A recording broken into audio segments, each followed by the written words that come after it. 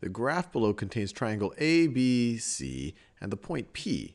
Draw the image of triangle ABC under dilation whose center is P and a scale factor of 2. So essentially, we want to scale this so that every point is going to be twice as far away from P. So for example, B right over here has the same y coordinate as P, but its x coordinate is three times, or is three more. So we want to be twice as far. So if this maps to point B, we just want to go twice as far. So we're at three away, we want to go six away. So point P's x coordinate is at three, now we're at nine.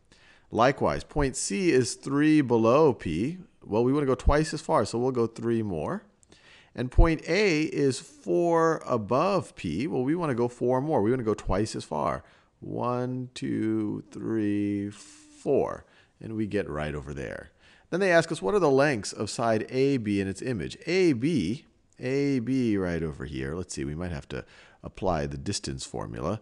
Let's see, it's the base right over here. The change in the change in x between the two is 3, and the change in y is 4. So this is actually a 3, 4, 5 right triangle. 3 squared plus 4 squared is equal to 5 squared. So AB is 5 units long, essentially just using the Pythagorean theorem to figure that out. And its image, well, its image should be twice as long. And let's see whether that actually is the case. So this is a base right over here that's of length 6. This has a height, or this change in y. I could say if we, because I'm really just trying to figure out this length, which is the hypotenuse of this right triangle that I, I don't have my drawing tool, so I apologize. But this height right here is 8.